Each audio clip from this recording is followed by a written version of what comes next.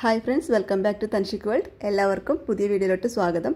ഇന്ന് ഞാൻ വന്നിരിക്കുന്നത് പച്ചമാങ്ങ ചേർത്തിട്ടുള്ള ഉണക്കച്ചെമ്മീൻ കറിയുടെ റെസിപ്പി ആയിട്ടാണ്. നല്ല ടേസ്റ്റി ആയിട്ടുള്ള ഈ ഒരു ഉണക്കച്ചെമ്മീൻ പച്ചമാങ്ങ കറി എങ്ങനെയാണ് തയ്യാറാക്കുന്നത് നമുക്ക് കണ്ടു നോക്കാം. ഇതിനായിട്ട് ഞാനിവിടെ ഏകദേശം കാൽ കപ്പ് അളവിൽ ഉണക്കച്ചെമ്മീൻ എടുത്തിട്ടുണ്ട്. അത് നല്ലതുപോലെ കഴുകിയതിന് ശേഷം ഒരു പാനിലിട്ടിട്ടൊന്ന് റോസ്റ്റ് ചെയ്തെടുക്കാം. നല്ലതുപോലെ ഒന്ന് ഡ്രൈ റോസ്റ്റ് ചെയ്തെടുക്കണം. നല്ല ക്രിസ്പി ആയിട്ട് വരുന്നത് വരെ ഒന്ന് റോസ്റ്റ് ചെയ്തെടുക്കാം. അപ്പോൾ ഇതാ ഇതിപ്പോൾ ഇവിടെ നന്നായിട്ട് റോസ്റ്റ് ചെയ്തെടുത്തിട്ടുണ്ട്. നല്ല ക്രിസ്പിയായി കിട്ടിയിട്ടുണ്ട്. ഇത് നമുക്ക് സ്റ്റൗ ഓഫ് ചെയ്ത് കൊടുക്കാം. അതിനുശേഷം ഇതിന്റെ തലയും വാലൊക്കെ ഒന്ന് നമുക്ക് കളയണം. അതിനായിട്ട് ഇതുപോലെ ഒരു അരിപ്പയിലോട്ട് റോസ്റ്റ് ചെയ്ത് വെച്ചിരിക്കുന്ന ഉണക്ക ചെമ്മീൻ ഇട്ട് കൊടുക്കാം. അതിനുശേഷം ഒരു ഗ്ലാസ്സോ ബൗളോ യൂസ് ചെയ്തിട്ട് ഇതുപോലെ നന്നായിട്ടൊന്ന് പ്രസ് ചെയ്ത് കൊടുക്കുകയാണെങ്കിൽ വളരെ എളുപ്പത്തിൽ തന്നെ ഇതിന്റെ തലയും വാലും ഒക്കെ അങ്ങ് പൊടിഞ്ഞു പോയിക്കോളും. അപ്പോൾ ഇതാ ഇതിപ്പോൾ ഇവിടെ നല്ലതുപോലെ ക്ലീനായി കിട്ടിയിട്ടുണ്ട്. ഇനി നമുക്ക് ഒരു മിക്സിയുടെ ജാറിലോട്ട് ഒരു കപ്പ് ഫ്രഷ് ആയിട്ടുള്ള ചിരകിയ തേങ്ങ ചേർത്ത് കൊടുക്കാം. അതോടൊപ്പം ഇതിലേക്ക് ഒരു ചെറിയ കഷ്ണം ഇഞ്ചി ചെറുതായിട്ട് കട്ട് ചെയ്തത് ചേർത്ത് കൊടുക്കുന്നുണ്ട്. പിന്നെ ഇതിലേക്ക് ഒരു ടേബിൾ സ്പൂൺ അളവിൽ കശ്മീരി ചില്ലി പൗഡർ ചേർത്ത് കൊടുക്കാം.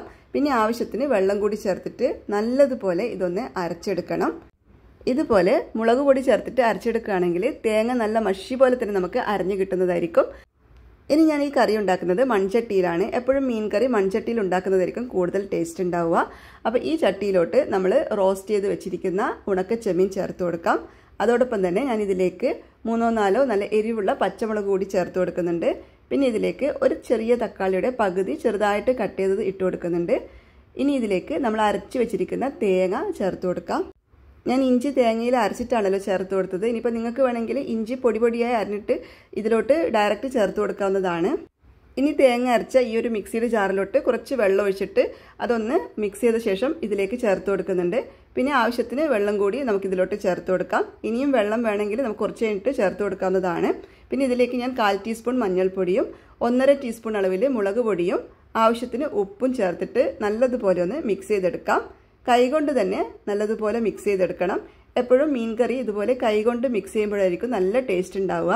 നന്നായിട്ട് തന്നെ ഒന്ന് മിക്സ് ചെയ്ത് കൊടുക്കാം.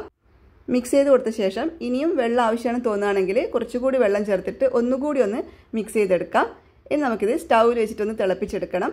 അപ്പോൾ ഇതിലേക്ക് ആവശ്യമായിട്ടുള്ള മാങ്ങ ഒന്ന് ചെറുതായിട്ടൊന്ന് കട്ട് ചെയ്തെടുക്കണം. അതിന് മുന്നേ ഞാൻ ഈ മീൻ കറി ഒന്ന് അടുപ്പിൽ വെച്ചെടുക്കുകയാണ് ഇനി ഈ കറി നല്ലതുപോലെ ഒന്ന് തിളച്ച് വരട്ടെ.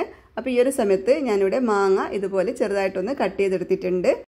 ഇനി ഫ്ലെയിം മീഡിയം ഫ്ലെയിമിലിട്ടിട്ട് കറി നല്ലതുപോലെ ഒന്ന് തിളച്ച് വരട്ടെ. അപ്പോൾ ഇതാ കറി ഇപ്പോൾ ഇവിടെ തിളച്ച് വരാൻ തുടങ്ങിയിട്ടുണ്ട്. ഇനി ഫ്ലെയിം ലോ ടു മീഡിയം ഫ്ലെയിമിലോട്ട് ആക്കി കൊടുക്കാം.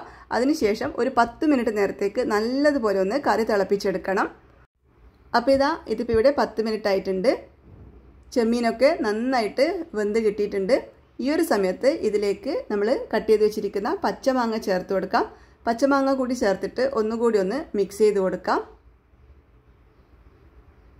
ഇനി ഇതിലേക്ക് ഈ സമയത്ത് ഉപ്പൊക്കെ ആവശ്യത്തിനുണ്ടോ എന്നൊന്ന് ചെക്ക് ചെയ്ത് നോക്കാം. എനിക്കിപ്പോൾ ഇവിടെ ഈ സമയത്ത് ഉപ്പ് കറക്റ്റാണ് ഇനി ഇത് ഒരു അഞ്ച് മിനിറ്റ് നേരത്തേക്ക് നന്നായിട്ടൊന്ന് തിളപ്പിച്ചെടുക്കണം. ഇടയ്ക്ക് ഇതുപോലെ ഒന്ന് ഇളക്കി കൊടുക്കണം. അടിയിൽ പിടിക്കാതിരിക്കാൻ വേണ്ടിയിട്ട് ഇടയ്ക്ക് ഇതുപോലെ ഒന്ന് ഇളക്കി കൊടുക്കാം. അപ്പോൾ ഈ സമയത്ത് കറി കുറച്ച് തിക്കായിട്ട് തോന്നുന്നുണ്ട്. അപ്പോൾ ഞാൻ ഇതിലേക്ക് കാൽക്കപ്പളവിൽ ചൂടുവെള്ളം ചേർത്ത് കൊടുക്കുന്നുണ്ട്. പച്ചവെള്ളം ചേർത്ത് കൊടുക്കരുത്. ചൂടുവെള്ളം തന്നെ ചേർത്ത് കൊടുക്കണം. അതിനുശേഷം ഒന്നുകൂടി മിക്സ് ചെയ്തിട്ട് ഉപ്പൊക്കെ കറക്റ്റാണോ എന്നൊന്ന് ചെക്ക് ചെയ്ത് നോക്കാം. ഇപ്പോൾ വെള്ളം ചേർത്തത് കാരണം എനിക്ക് ഉപ്പ് കുറച്ച് കുറവായിട്ടാണ് തോന്നുന്നത്. അതുകൊണ്ട് ഞാൻ ഇതിലേക്ക് കുറച്ചുകൂടി ഉപ്പൊന്ന് ചേർത്ത് കൊടുക്കുന്നുണ്ട്. അതിനുശേഷം ഒന്നുകൂടി എല്ലാം നല്ലതുപോലെ മിക്സ് ചെയ്തെടുക്കാം. ഈ സമയത്ത് നമുക്കിതിലോട്ട് കറിവേപ്പില ചേർത്ത് കൊടുക്കാം. എന്റെ കയ്യിൽ ഇപ്പോൾ കറിവേപ്പില ഇല്ല. അതുകൊണ്ട് ഞാൻ ചേർത്ത് കൊടുക്കുന്നില്ല.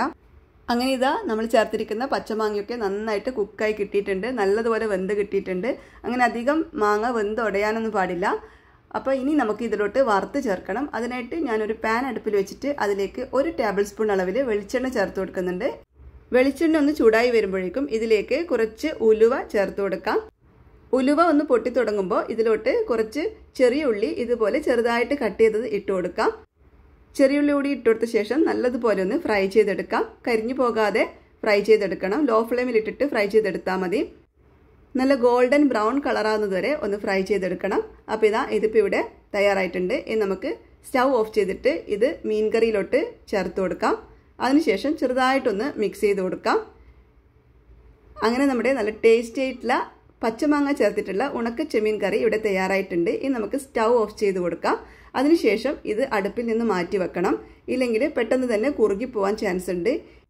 ഇനി അഥവാ ഇത് ചൂടൊക്കെ പോയതിന് ശേഷം വല്ലാതെ കുറുകിപ്പോയി എന്ന് നിങ്ങൾക്ക് തോന്നുവാണെങ്കിൽ ഇതിലോട്ട് നല്ല ചൂടുള്ള വെള്ളം ചേർത്തതിന് ശേഷം ഒന്നുകൂടി ഒന്ന് തിളപ്പിച്ചെടുത്താൽ മതി. പച്ചവെള്ളമൊന്നും ചേർത്ത് കൊടുക്കരുത്. ചൂടുവെള്ളം തന്നെ ചേർത്തിട്ട് ഒന്നുകൂടി ഒന്ന് തിളപ്പിച്ചെടുക്കണം. അപ്പോൾ എല്ലാവർക്കും ഈ ഒരു റെസിപ്പി ഇഷ്ടപ്പെട്ട് കാണുമെന്ന് വിശ്വസിക്കുന്നു. ഇഷ്ടപ്പെട്ടിട്ടുണ്ടെങ്കിൽ നിങ്ങളുടെ പ്രിയപ്പെട്ടവർക്കൊക്കെ ഒന്ന് ഷെയർ ചെയ്ത് കൊടുക്കണേ. അതേപോലെ ചാനൽ സബ്സ്ക്രൈബ് ചെയ്യാത്തവരുണ്ടെങ്കിൽ ചാനൽ സബ്സ്ക്രൈബ് ചെയ്തൊന്ന് സപ്പോർട്ട് ചെയ്യാനും മറക്കരുത്. അപ്പോൾ നമുക്ക് വീണ്ടും പുതിയൊരു വീഡിയോ ആയിട്ട് കാണാം.